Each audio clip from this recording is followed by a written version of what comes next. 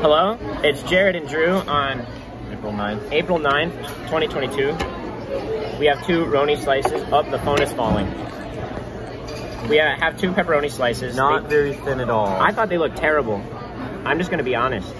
Like they're very thick, and, and the, the pepperoni is like there's no there's See no that cheese, that layer of cheese? yeah they look terrible and old. I I put mine in in oregano. I kind of just covered it in oregano. Maybe it'll taste better. I don't know.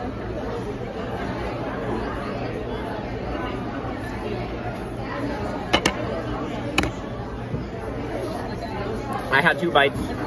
I have my rating. Not very good at all today. I was just eating bread. I'm, I was just eating bread. Four, four, four. Two, two eight.